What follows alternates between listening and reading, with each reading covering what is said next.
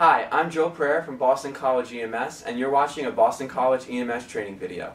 This specific training video will be on anaphylaxis and the interventions and medications that you can administer to effectively treat your patient with possible anaphylactic shock.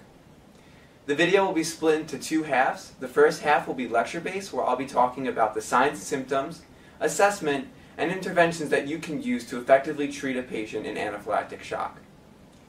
The second portion will go through an assessment of a person in anaphylactic shock in real time and will pause intermittently to be interactive and ask you questions about what the EMT should do next, what they did wrong, and other trivia questions. First, we'll talk about the signs and symptoms of someone in anaphylactic shock. There are several signs and symptoms when responding to a patient with anaphylactic shock or an allergic reaction that you should be aware of. First and foremost, your patient might be in respiratory distress or having difficulty breathing. This can be indicated by the way that they're breathing and their respiratory rate, if they're using accessory muscles, or if they're in a position such as the tripod position, which might be indicative of their difficulty breathing. Next, you should be aware that the patient might have urticaria or hives all throughout their body or in a localized spot. The patient might also be itchy or have redness throughout their body or again in just one localized area. Typically with anaphylactic patients, their BP might be depressed because of the vasodilation that's going on throughout their body. Furthermore, their heart rate might be elevated to compensate for this vasodilation, and they might also be excited or nervous about the situation. These are just some of the signs and symptoms that can help you realize when a patient is in anaphylactic shock.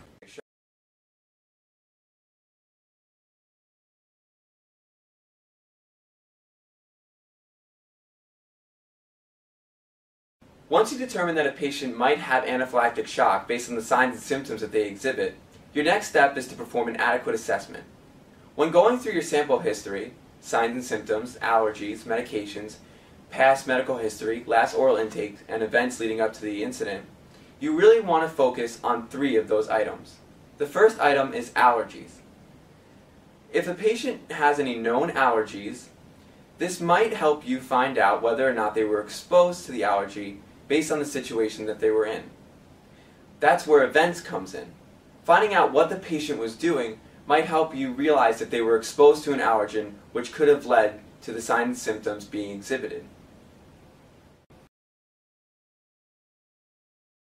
There are several interventions or medications you can administer to effectively treat someone in anaphylactic shock.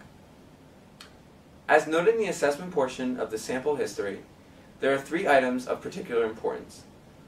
The last item, which has not been discussed yet, is medications. One medication that is very important for someone in anaphylactic shock is epinephrine.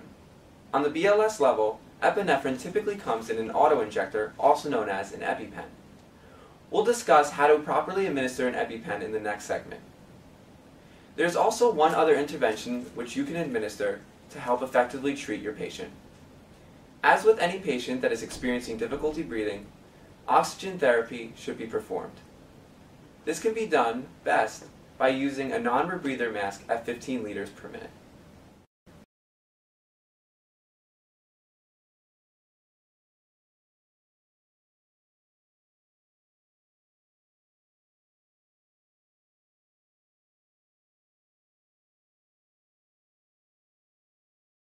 To administer an EpiPen effectively, the first step is to make sure that it meets the six rights. Next, you need to remove the safety cap, which is on the end opposite to where the needle will come out. Hold the EpiPen like so in the palm of your hand without any fingers on either end. The reason for this is because an EpiPen is pressure sensitive. Any pressure might lead to the needle accidentally coming out. To administer the EpiPen, it needs to be administered on the thigh region because it's an intramuscular administration.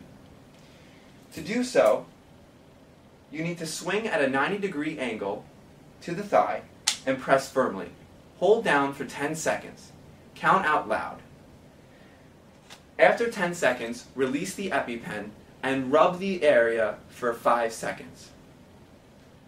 That is how you effectively administer an EpiPen.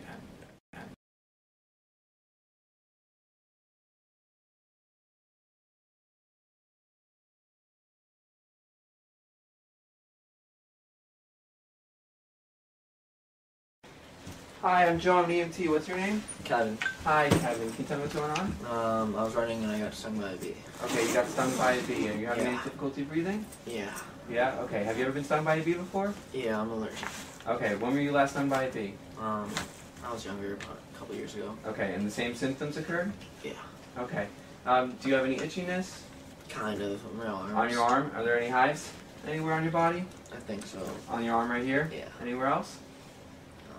I don't know. I haven't really checked. Okay, Ian, I do see some hives, um, and he has is having difficulty breathing. His respiratory rate is elevated. What is another good question that can be asked to get a complete history?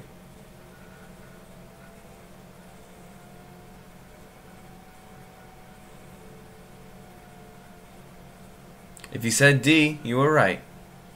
Let's get him on oxygen therapy Okay. via non-rebreather, 15 minutes per minute. I'm just going to get a quick pulse for you, Kevin. Kevin, are you on any medications? Uh, no, I, I have an EpiPen for this, but I forgot it. Okay. No other medications? No. Any other allergies? Oh, no. His pulse is 100 beats per minute. Just gonna get a quick BP. Okay, Kevin. I'm gonna put this oxygen on you, and you're just gonna breathe normally. Okay.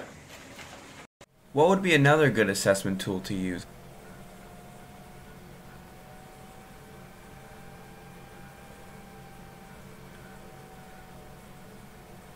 That's right, it's D, listening to lung sounds for wheezing. Do you want the pulse ox? Um, yeah, why don't we get a pulse ox reading?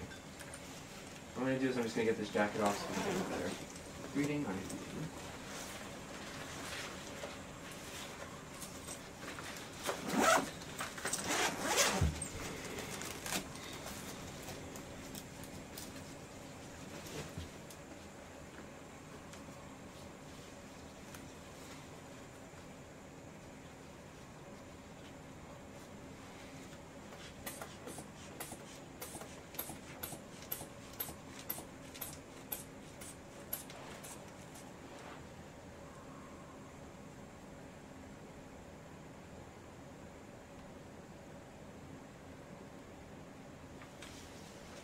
Okay, his BP is 100 over 60, so hypotensive. Did you, were you able to get a respiratory rate?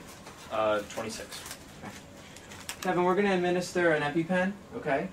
So it's just going to be some pressure in your thigh, and the administration is going to be right into your muscle, okay? What should the EMTs do before administering the EpiPen?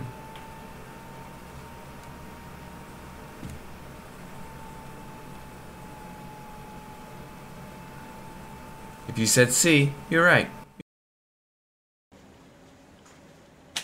One, two, three, four, five, six, seven, eight, nine, ten. Now I'm just gonna rub the area for five seconds.